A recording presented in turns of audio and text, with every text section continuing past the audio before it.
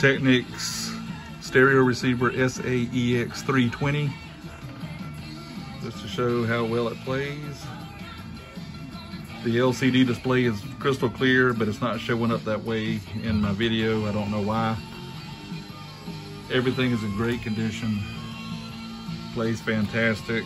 It's got phonograph, tuner, CD, VCR, DVD,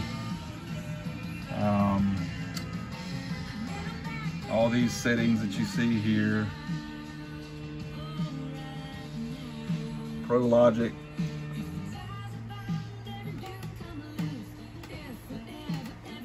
Plays great.